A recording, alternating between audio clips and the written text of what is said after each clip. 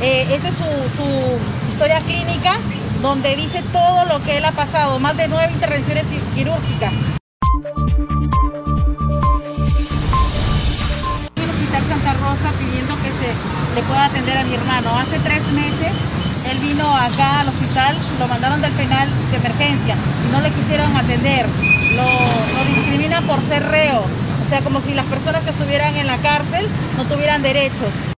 Médicos no quieren atender a interno del penal y le pronostican seis meses de vida. Tuvieron que pasar casi tres meses para llegar al hospital desde el penal ex Río Seco, y así por fin pueda ser operado quirúrgicamente. Pero lamentablemente sucedió lo mismo, simplemente los médicos de turno del Hospital Santa Rosa no quieren atender manifestando que es un interno del penal y hay otras prioridades.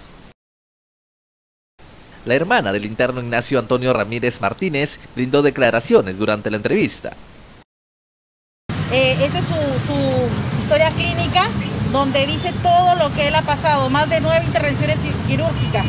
Y ha sido antes de la pandemia, justo él le tenía que operar en la, en la, en la de la pandemia, así que él ahorita ha tenido que por cosas irse al penal y ahí de ahí no, de ahí ha caído mal, ha estado muy grave porque él tiene que, él tiene que operarle, ponerle una, una malla. y resulta que no, no quieren atenderlo porque es reo. Por favor, ya estoy cansada de venir aquí por enésima vez, suplico, ruego y nunca, nunca lo quieren atender, ni siquiera para una consulta. Él tiene que verlo un especialista. Ya el doctor Juan Diego, este, Juan Diego Hidalgo me ha dicho que seis meses como máximo él soportaría. O sea, ¿a quién le he hecho la culpa si él se muere? ¿A quién? ¿A los del penal? ¿A los del Hospital Santa Rosa? ¿Contra quién me voy? él va a dejar cinco niñas en orfandad por culpa de no quererlo atender.